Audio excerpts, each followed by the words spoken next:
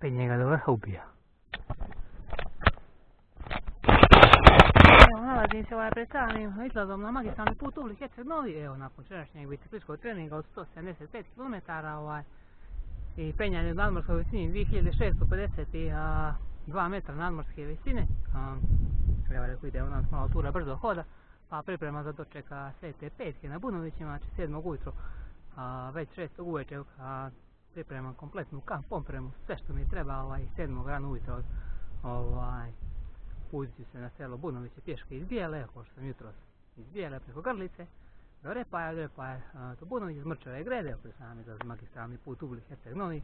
Evo ljudi predajem vam pogled na boku, ajde uvijek ovdje ću sada pravim video snimak, da ne nam gore kad izađe na magistralu, da mogu odmah da da izađem ovaj uspon i da ne pakivam više rana zbog kamere odmah idemo ovaj ka crkvicama.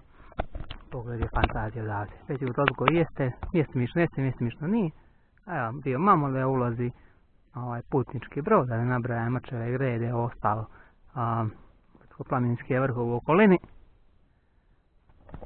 Idemo da kažem, ne počela bude ovaj, jeste vruće, a nije toliko kao što je bilo, ovaj, mogu već od jučer sam počeo dosjećam da možeš čovjek da se nadiše kiselnika, ovaj, nema više one ljetne, onaj, sparine u vazduhu, ono kad ne možeš da se ovaj, ne može da nagontadiš potreban kiselnik, ovaj, već je puno, puno lakše, lakše se diše, ovaj, evo svaki dan će se ovaj dan da bude kraći i kraći, sve će manje i manje da peče, a nek, peklo ga je dobro.